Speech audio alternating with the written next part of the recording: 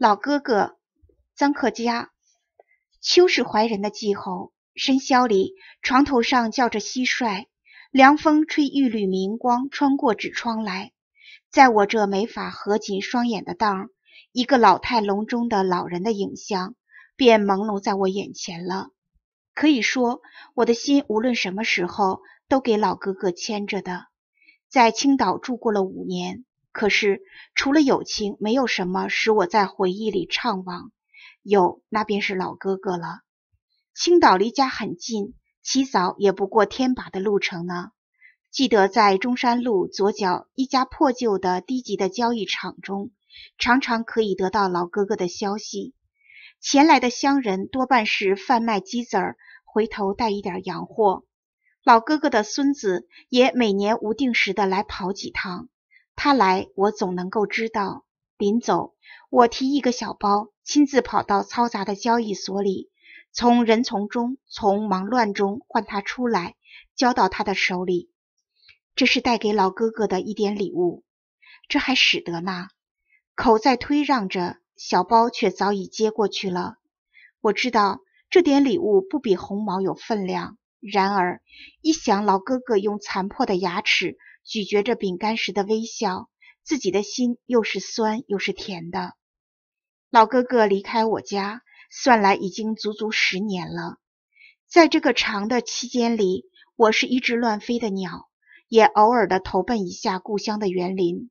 照例在未到家以前，心先来一阵怕，怕人家说我变了。更怕有些人我已经不认识，有些人已经见不到了。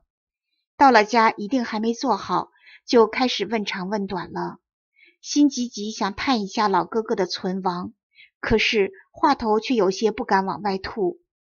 早晚用话头的偏锋敲出了老哥哥健在的消息，心这才放下了。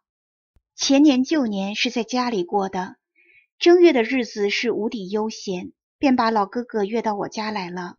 见了面，我还没来得及看清楚他，他却大声喊着说：“你瘦了，小时候那样的又胖又白。”从他刚进的声音里，我听出了他的康健了。老哥哥，你拖在背上的小辫儿也秃尖了。他没有听见，便在我的扶持下爬到我的炕头上了。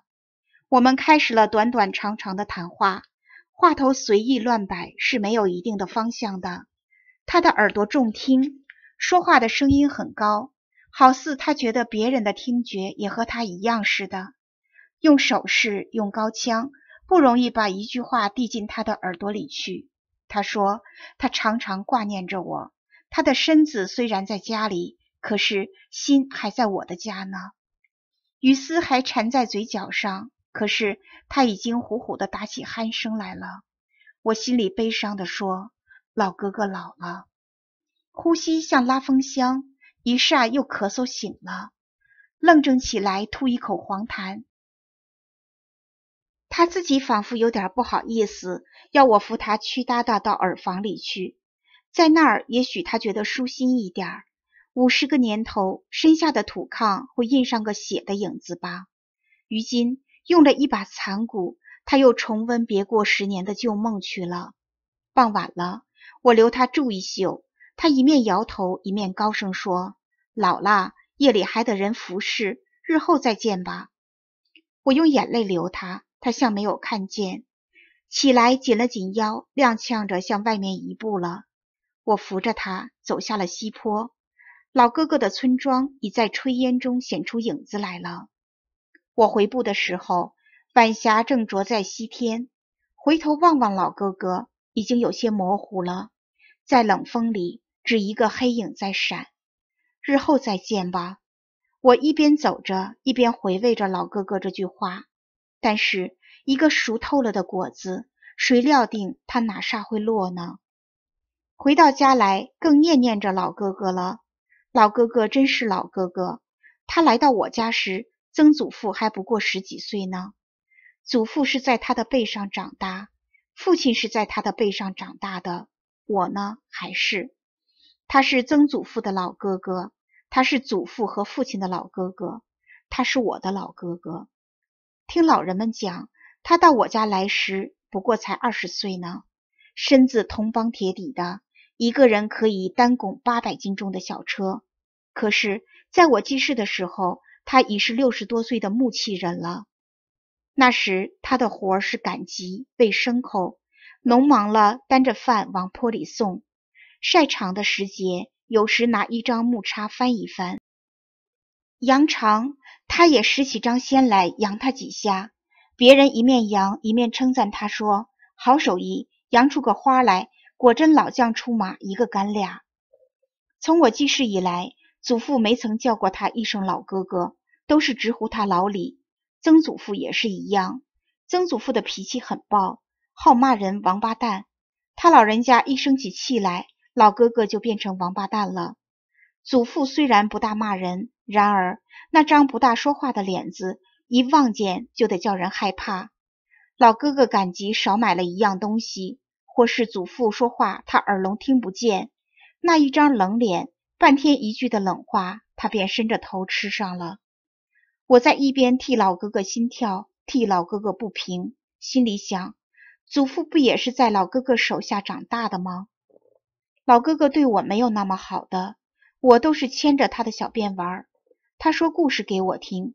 他说：“他才到我家来，我家正是旺时。六曾祖父做大金官，门前那迎风要倒的两对旗杆，是他亲手加入竖起来的。那时候人口也多，真是热闹。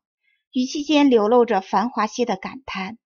我小时候最是迷赌，到了书的老鼠洞里也挖不出一个铜钱来的困窘时，我便想到老哥哥的那个小破钱袋来了。”钱袋放在他枕头底下，顺手就可以偷到的。早晚他用钱时去摸钱袋，才发现里面已经空空了。他知道这个地道的贼，他一点也不生气。我后来向他自首时是这样说的：“老哥哥，这时我还小呢，等我大了做了官，一定给你银子养老。”他听了当真的高兴。然而这话曾祖父小时曾说过。祖父小时也曾说过了，在黄昏，在雨夜，在月明的树下，他的老话便开始了。我侧着耳朵听他说长毛作反，听他说天上掉下彗星来。然而给我印象最深的要数这一次了。那年我八岁，母亲躺在床上，脸上蒙一张白纸，我放声哭了。老哥哥对我说：“母亲有病，他到吕标去取药，吃上就好了。”后来给母亲上坟，也老是他担着菜盒，我跟在后头。一路上，他不住地说：“母亲是叫父亲气死的。当年大相公剪了发当革命党，还在外面和别的女人好。你小时穿一件十样的衣裳，姑们问一声：又是外边那个娘做来的？这话叫你娘听见，你想？”心里是什么味儿？而后皇帝又一劲儿的杀革命党，你爷戴上假发到处亡命，这两桩事便把你娘治死了。老哥哥一天一天的没用了，日夜蜷缩在他那一角炕头上，像吐尽了丝的蚕一样，疲惫抓住了他的心，被屈的像张弓，小辫儿越显得细了，他的身子简直成了个季候表。一到秋风起来，便卡卡的咳嗽起来。老李老了，老李老了，大家都一起这么说。年老的人最不易叫人喜欢，于是老哥哥的坏话塞满祖父的耳朵了。大家都讨厌他，讨厌他耳聋，讨厌他卡卡闹得人睡不好觉，讨厌他冬天把炕烧得太热。他一身都是讨厌骨头，好似从来就没有过不讨厌的时候。祖父最会打算，日子太紧，废物是得铲除的。于是便寻了一点小事，便把五十年来跑里跑外的老哥哥赶走了。我当时的心比老哥哥的还不好过，真想给老哥哥讲讲情，可是望一下祖父的脸，心又冷了。老哥哥临走泪淋淋的，口里半诅咒半咕噜说：“不行啦，老了。”每年十二吊钱的工价算清了账，肩上一个小包，走出了我的大门。我牵着他的衣角，不放松地跟在后面。老哥哥儿花女花是没有一点的，他要去找的是一个四字，说家是对自己的一个可怜的安慰罢了。但是不是自己养的儿子，又没有许多东西带去，人家能好好养他的老吗？我在替他担心着呢。十年过去了，可惜老哥哥还在世。暑假在家住了一天，没能够见到他，但从三鸡匠口里听到了老哥哥的消息。他说，在西河树行子里碰到老哥哥在背着手看夕照，见了他还亲亲热热的问这问那。他还说，老哥哥一心挂念着我庄里的人，还带要鼓鼓劲来耍一趟，因为不过二里地的远近。老哥哥自己说脚力还来得及呢。又是秋天了，秋风最能吹倒老年人。我已经能赚银子了。老哥哥可还等得及接受吗？